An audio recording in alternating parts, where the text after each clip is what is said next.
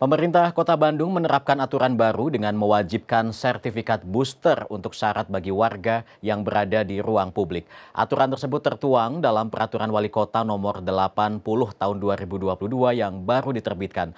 Saat ini capaian booster baru mencapai 35 persen dengan target 50 persen akhir Agustus mendatang. Assalamualaikum warahmatullahi wabarakatuh. Pemerintah Kota Bandung bersama Forum Komunikasi Pimpinan Daerah serta unsur terkait menggelar rapat terbatas secara daring Rabu siang dalam pencegahan dan penyebaran COVID-19 di Balai Kota Bandung.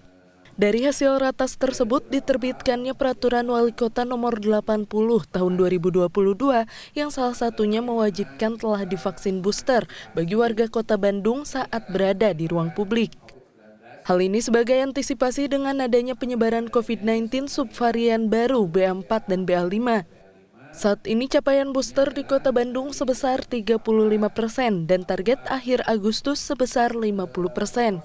Pertama adalah bagaimana kita mengantisipasi peningkatan penyebaran COVID-19 eh, karena adanya subvarian baru BA4 dan BA5 Intinya adalah tadi kami sepakat bahwa eh, proses vaksinasi adalah salah satu ikhtiar kita eh, mencegah penyebaran COVID-19 dan eh, tadi kami sampaikan kita sepakat bahwa saat ini dosis satu kita sudah di angka 114 persen, dosis dua kita sudah di 104 persen, Eh, dosis 3 kita saat ini masih di 35 persen dan tadi kami sepakat semua di akhir Agustus target uh, dosis 3 itu di 50 persen. Oleh karena itu untuk uh, percepatan ini kami akan melakukan perubahan perwal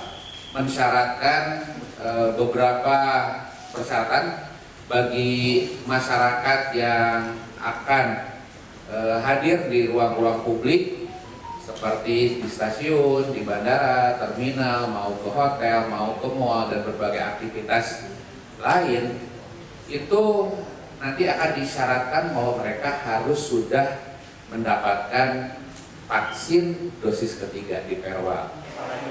Pemerintah Kota Bandung menyatakan saat ini PPKM berada di level 1, namun akan lebih memperketat ruang publik seperti pusat perbelanjaan, tempat rekreasi, taman, dan restoran dengan kapasitas 75 persen. Bahkan akan menyiapkan fasilitas vaksin booster di tempat keramaian, serta mematuhi protokol kesehatan minimal memakai masker. Tony Oktora, Bandung.